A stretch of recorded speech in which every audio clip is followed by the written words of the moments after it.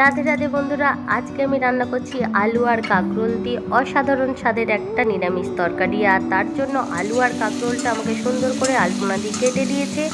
কড়াইটা গরম হতে একটু তেল দিয়ে, নুন, হলুদ দিয়ে আমি কাঁকরোল আর আলুটা ভাজতে দিয়ে দিয়েছি। যতক্ষণ ভাজা হচ্ছে ততক্ষণ মশলাটা আমি রেডি করে নিচ্ছি। দুখানা টমেটো, একটু আদা, দু চামচ সাদা জিরে নিলাম। একটু হলুদ গুঁড়ো, একটু লঙ্কার গুঁড়ো আমি একবারে মশলার বাটিতে দিয়ে দিচ্ছি, কারণ রান্নার সময় আমি আর দেবো না।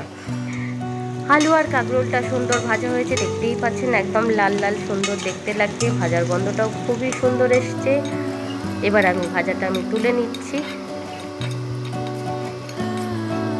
আস্তে আস্তে তুলে নেওয়ার পরে এই যে ভাজার তেলটা আছে, এই তেলেতেই আমি দিয়ে দিচ্ছি একটু হিং ফোড়ন আর হিং ফোড়ন দেওয়ার পরে মশলাটা আমি বেটে নিয়েছিলাম, আপনাদের দেখায়নি, সেই মশলাটা আমি দিয়ে দিচ্ছি এর মধ্যে। মশলাটা একটু কষা হলে দিয়ে দেবো স্বাদ মতন লবণ আর দেবো একটু চিনি। রান্না ভালো হওয়ার জন্য একটু চিনি দিলে ভালোই লাগে। আর দিচ্ছি কালারের জন্য কাশ্মীরি লাল মির্চ পাউডার দিয়ে ভালো করে কষিয়ে নিচ্ছি, জলটা কম লাগছে। সেই জন্য একটুখানি মশলা ধোয়ার জলটা দিয়ে কষিয়ে নেব।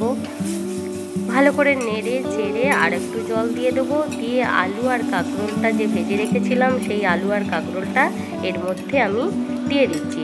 দিয়ে ভালো করে নেড়ে আমি ঢাকনাটা চাপা দিয়ে দেবো। পাঁচ দশ মিনিট মতন চাপা থাকবে। আলুটা সেদ্ধ হয়ে গেলেই খুলে নেব। দেখুন সুন্দর লাগছে দেখতে। আলু আর কাঁকরোলটা সেদ্ধ হয়ে গেছে। কাটাটা আপনাদের দেখানো হয়নি। যাই হোক সরি একটু গরম মশলা দিয়ে দিচ্ছি দু চিমটি মতন। আমি বেশি গরম মশলা দিচ্ছি না, কারণ আমার বাড়িতে বানানো গরম মশলা, সেই জন্য আমি বেশি দিচ্ছি না, গন্ধটা ভালো লাগবে না বেশি দিলে। গোপালের বাটিতে আমার রান্নাটা তুলে নিচ্ছি, আমার রান্নাটা হয়ে গেছে সুন্দর। গোপালের বাটিতে তুলে নিলাম, দেখতেই পাচ্ছেন পুরো রান্নাটা কেমন হয়েছে। আজকে বাগানের ফুল দিয়ে সুন্দর করে গোপালকে মালা করে পরিয়েছি, কারণ আজকে হচ্ছে শ্রাবণ মাসের প্রথম সোমবার। যাই হোক, সবাই ভালো থাকবেন, হর হর মহাদেব।